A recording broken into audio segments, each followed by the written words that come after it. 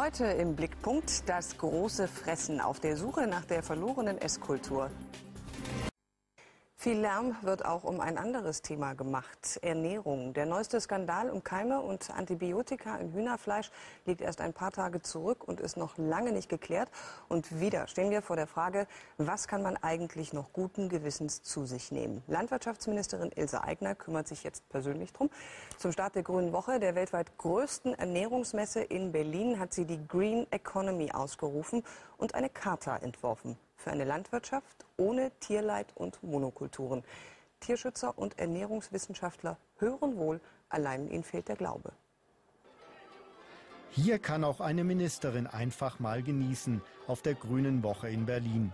Weltweit ist sie die größte Lebensmittelmesse. Doch wird hier nicht nur gegessen, sondern auch über Lebensmittel diskutiert. Im vergangenen Jahr beispielsweise über Dioxin in Eiern und gegenwärtig über Antibiotika in der Tierhaltung. All das hervorgerufen durch eine agrarindustrielle Massenproduktion mit dem Ziel, viel an Lebensmitteln zu verdienen, indem man sie eben durch die Masse billig anbieten kann. Für viele Menschen ist das Einkaufskriterium bei Nahrung ähm, der Preis. Sie kaufen so billig wie möglich. Gott sei Dank nicht für alle und der, und der, und der Anteil derer, die auf die Qualität und die Herkunft schauen, steigt. Doch in keinem Land Europas achten die Verbraucher so auf den Preis wie in Deutschland. Nur 11 Prozent ihres Einkommens geben die Deutschen für Nahrungsmittel aus. Bei unseren europäischen Nachbarn liegt dieser Wert teilweise erheblich höher. Wie Pilze sind bei uns die Discounter überall aus dem Boden geschossen. Jeder Deutsche hat mittlerweile einen Discounter, den er in rund 10 Minuten erreichen kann. Viele kennen eigentlich nur noch Discounter für ihren Einkauf. Die Konkurrenz zwischen den Discountern hier bei uns in Deutschland spielt eine starke Rolle dabei, dass die Nahrungsmittelpreise so niedrig und damit die Haushaltsausgaben so niedrig sind. Das Wort Preiskampf lässt sich in andere Sprachen gar nicht übersetzen. Geht es noch billiger, noch geiziger? Der Discounterkunde ist extrem preisbewusst. Das hat natürlich Konsequenzen für die Ställe der Landwirte, für die Schlachthöfe. Sie sind zu Industriebetrieben mutiert, damit alles schön billig angeboten werden kann, am besten in Selbstbedienung aus der Fleischtheke. Immer mehr Masse, immer billiger, viele Menschen haben diese Entwicklung satt. Und so fand gestern am Rande der Grünen Woche in Berlin eine Protestaktion statt, bei der auch kleine bäuerliche Betriebe auf ihre immer prekärer werdende Situation hinwiesen. Massentierhaltung, das kann auch Konsequenzen für die menschliche Gesundheit haben. Studien haben ergeben, dass bis zu 96 Prozent der Masttiere mit Antibiotika behandelt werden. Über die Lebensmittel können Menschen dann Keime aufnehmen, gegen die Antibiotikamedikamente nichts mehr ausrichten können. Wenn ich Tiere wie Industriewerkstücke behandle, dann komme ich auch zu Zahlen wie der, dass 5,9 Mal pro Schwein und das lebt ja nur fünf Monate, Antibiotika eingesetzt werden. Über das System der Haltung müssen wir nachdenken. Wir müssen ökologisch werden und aufhören, industriell Tiere zu halten. Aus diesen Entwicklungen hat Karl Ludwig Schweißfurt schon 1984 seine Konsequenzen gezogen. Der frühere Schweinegroßschlachter gründete nahe München die Hermannsdorfer Landwerkstätten, wollte damit eine neue nachhaltige Agrar- und Ernährungsstruktur schaffen. Daraus entsteht eine Pflicht, mit den Tieren anständig umzugehen, so gut wie es geht, solange sie leben.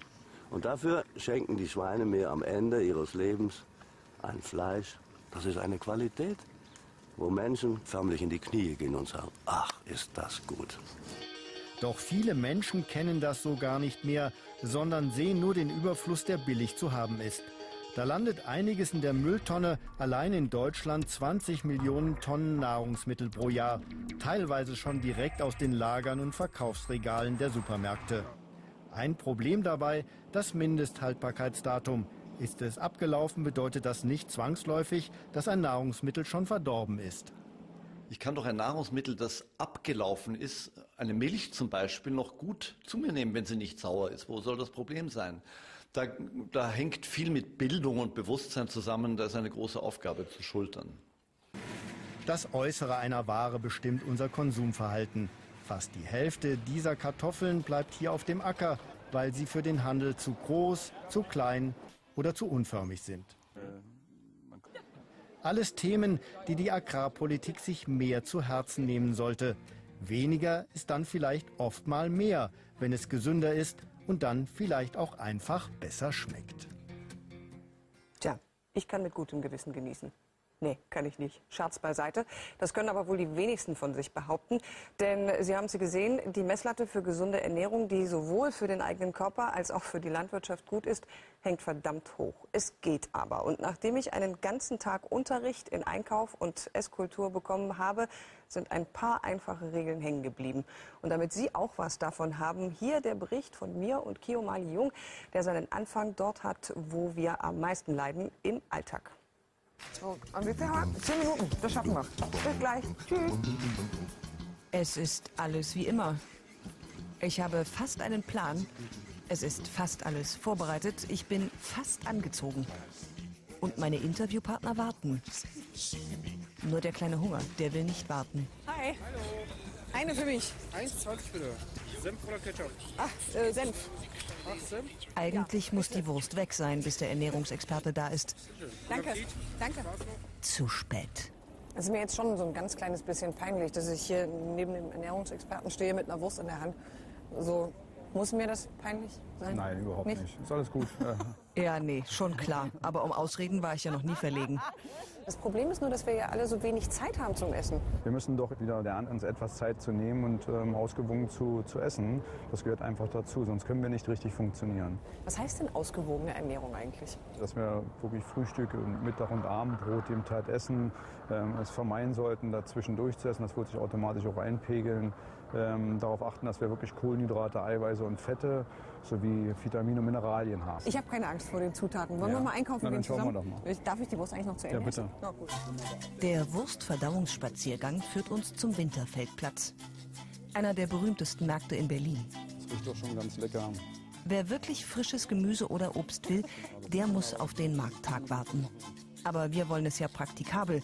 Und was findet sich vor jeder Haus- oder Bürotür? Ein Supermarkt. Und im Supermarkt kann man also auch gesund einkaufen. Definitiv. Da bin ich ja gespannt drauf. Ja. Gibt es da Regale, die man meiden sollte? Es gibt da bestimmt ein Regal, Das mit dem Süßkram. das mit dem Süßkram. Mit einem Mann einkaufen, der alles besser weiß. Das ist nicht gut, das Sonnenblumenöl. Es gibt da bei Weitem ein besseres Öl. Das habe ich mir schon immer gewünscht. Dumm nur, dass er auch noch recht hat. Die richtige Antwort wäre Rapsöl gewesen. Sonnenblumenöl hat zu viele gesättigte Fettsäuren. Unser Konsumverhalten ist sehr unterschiedlich. Das sieht jetzt schon so gesund aus, was wir in unserem Korb drin haben. Ja, das ist auch sehr gesund, weil wir Denn- die Vitamine und Mineralien brauchen. Wenn ich aber jemand bin, der viel lieber Schokolade isst, Das ist auch mal gut. Hier haben wir zum Beispiel eben, äh, ähm, Nüsse. Die tun auch mal ganz gut, so einen Snack zwischendurch mal eine Nuss zu essen. jetzt kommt meine Abteilung äh, Snacks für zwischendurch in Plastikbechern. Ja.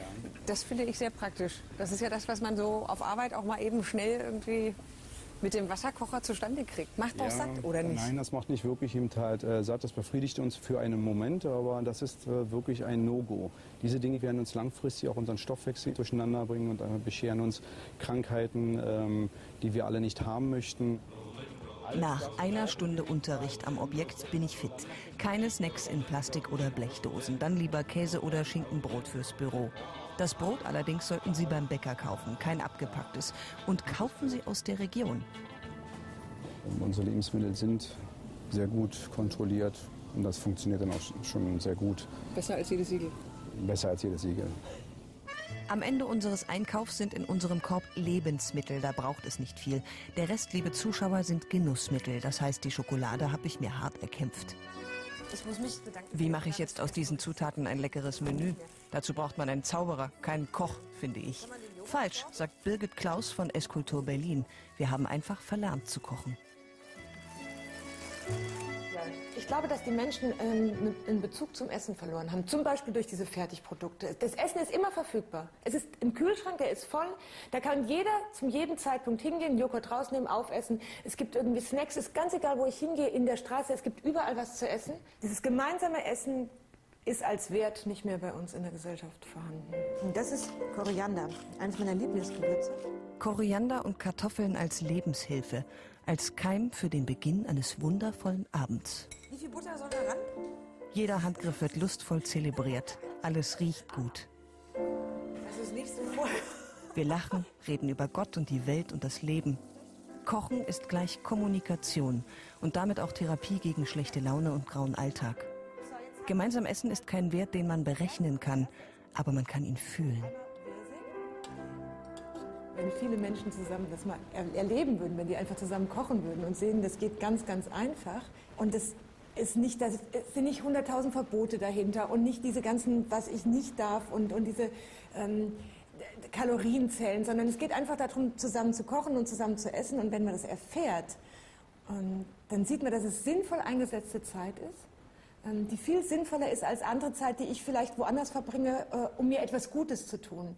Aber das passiert nicht mit jemand anders zusammen. Und ich, äh, ich glaube, was sich verändern könnte, ist, wenn man gemeinsam isst, dass sich die Gesellschaft auch näher kommen könnte. So wie übrigens schon mal vor ein paar tausend Jahren, als die Menschen am Feuer die Esskultur entdeckten.